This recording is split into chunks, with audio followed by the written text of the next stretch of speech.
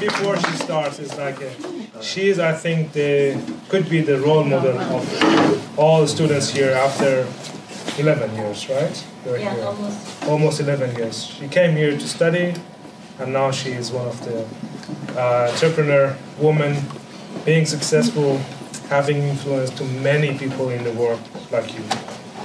Thank you. Thank you. So yeah, my name is Bambi, and uh, I'm originally from Vietnam. Maybe some of you here know me. Uh, we have met in some trips, some events already. Uh, I'm originally from Vietnam, coming from a very small village. My parents were always very traditional.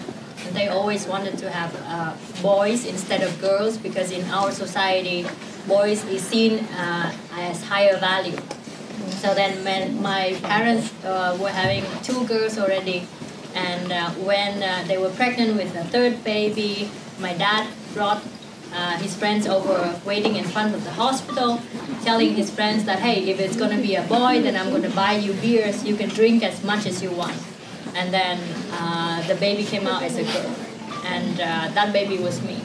And my dad's friends were so disappointed, they all left immediately.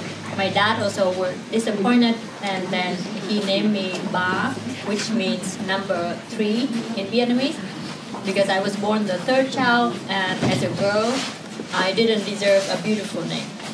So I grew up in that kind of world where um, children are not seen for their value, but because of their gender, they are treated uh, differently. Uh, so I was always dreaming of living in a world where all child are equal. They are given equal opportunity.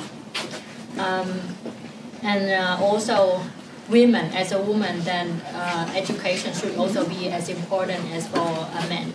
But as a woman, as a girl, I always needed to fight for education because parents never thought that uh, girls or women would need that much education.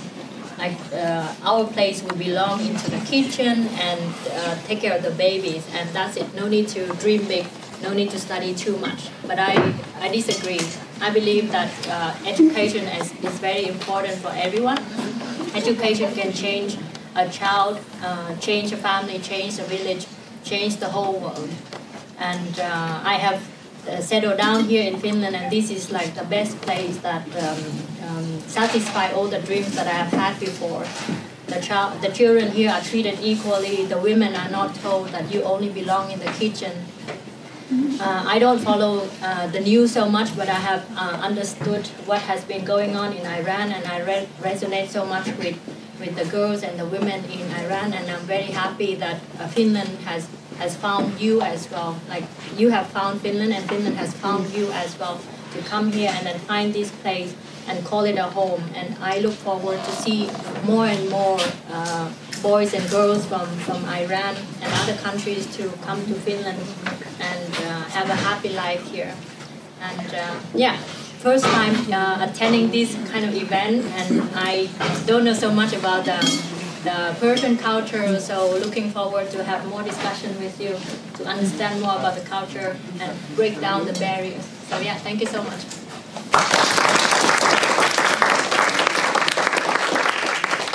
Uh, every year and maybe even on the right day. So uh, let's uh, make that happen. And I think that this is also something that uh, we can definitely, you know, like bring to uh, the schools. So uh, I don't see any reason why we couldn't celebrate Nowruz in, you know, like uh, uh, Rautajärven uh, Lukio or Keuruun Lukio or, or you know, uh, wherever you might be from.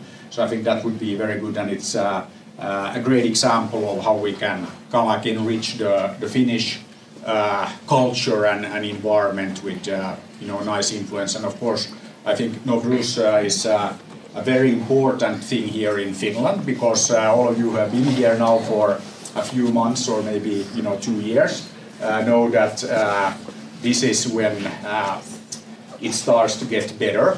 so it's the end of the darkness, and then of course we'll get summer, and then we have like only light.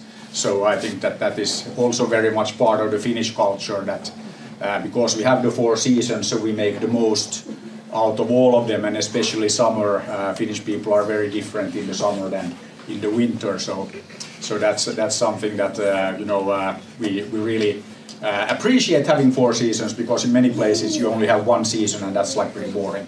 So that's part of part of what uh, we appreciate here. Uh, but yes, so uh, now you're uh, going to high school or you're enjoying the Finest Future Fast program in, in Orivesi. I know some of you, and and uh, I always say that. Uh, first of all, as you have already found out, I mean, all the, the high schools, all the schools in Finland are very good. So we really believe in providing fantastic education, not just for a few people, but for all people. And I think that also by doing that, uh, we really uh, offer everybody here uh, the opportunity, you know, the equal opportunity to pursue happiness. And of course, you know, uh, this week was a fantastic week for Finland. So for the seventh uh, year in a row, Finland was ranked the happiest nation on the planet. And Finnish people are always like equally surprised that you know like uh, what is going on. But I think that. Uh, uh, for somebody like me, I, I travel quite a bit. I was four days in Tokyo and two days in Hong Kong. Just got back yesterday. I think that to understand kind of like why and you know the happiness and and the equality and like all of that of course, if you never go outside of Finland, then you just think that okay, this is normal and this is the uh, way it is everywhere. You know, because for Finnish people, this is normal. Of course, you know, like uh, uh, we treat everybody the same. We treat everybody equal. Uh, but I know that many of you know that uh, in in some of the places, uh, you know, it's not like that. but in Finland, it's perfectly okay to be, you know, like a young woman and run the country. You don't need to be like an old man, like in some places you have to be over 70 or ideally over 80 to run for president. Uh, and uh, you know that's that's something that I, I think uh, is also part of the equality and trusting people.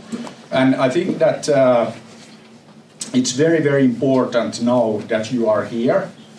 All of you have the freedom, the freedom to do what you want to do. So you know, starting with high school, starting with vocational school, but you can be anything you like here in Finland. And uh, you should take that opportunity, you should make use of that freedom. And with that freedom also comes, you know, responsibility. It's your responsibility, you know, to learn the language. Also, you know, Finnish people can be a bit shy, uh, so you shouldn't you know so don't be shy you know talk to them and typically you know like uh, uh, once you find you know like finnish friend you're friends forever. So uh, finnish people don't take friendship like lightly. So when finnish people ask you how you're doing it's not you know like in some places that okay yeah i'm fine and then you know end of discussion. But they actually like care and they, they want to know how you're doing. And probably you have noticed that the teachers here in Finland actually care. So they will also ask you like how you're doing and if everything is fine, and they will make sure that everything is fine. And if it's not, you know, like uh, let's make sure that we take care of that. But also, uh, uh, we perfectly understand here. Yes, and it's also perfectly fine to disagree, you know. So yes, uh, try to keep it, keep it, uh, you know, uh, short. But yeah, I, I, think that that is actually one very important thing that uh, in Finland, you can also, uh, you know, you can have your own opinion, and uh, it's perfectly okay to disagree with, you know, like whoever is in charge. And I mean, if I think that our finance minister is an idiot, I can say it, and I will not end up in some camp or disappear. So it's like perfectly okay to do that. And uh, exactly. and you should always you should make your voice heard. I think this is something that uh, is very important. So if there's something that you need help with, and that was what I was getting to, is uh, you know don't hesitate to ask.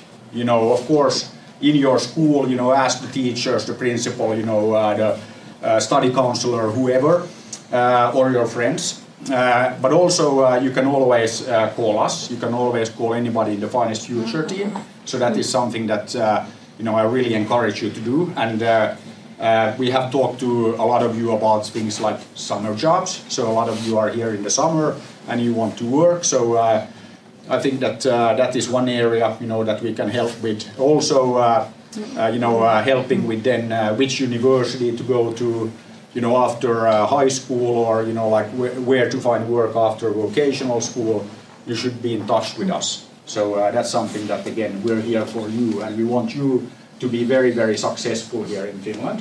So uh, that is something that, uh, again, you know, don't hesitate uh, to contact us. And yeah, as I said, you know, here in Finland, you have the freedom to be all you can be. So make use of that. That's your responsibility. So you know, really uh, make sure that you make the most out of it. I think it's uh, very, very important. And uh, there is plenty of opportunity. So uh, again, uh, we're more than happy to help you make the most of those opportunities. Uh, there's plenty of jobs. There's plenty of stuff to do. So it's also, you know, it's a win-win.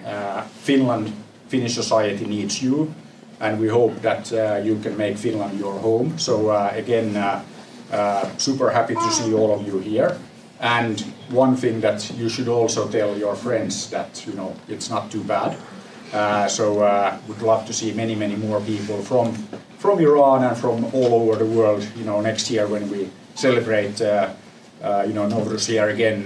hopefully, there will be many, many more of us here in the room. Uh, one very actually practical thing that I would uh, suggest that uh, you know uh, not everybody knows everybody, but uh, what we could do is like just start uh, a WhatsApp group for this event, so then we can you know like share the pictures and videos and and everything with everybody. So uh, everybody that wants to join that, uh, let's uh, you know do that during during the evening here. Uh, so I think that's a great way to connect and uh, and then also a uh, great way for you to, to contact us. But once again, great to see you here. Thank you for being here, and if there's anything, you know, don't hesitate to ask. So, yeah, welcome.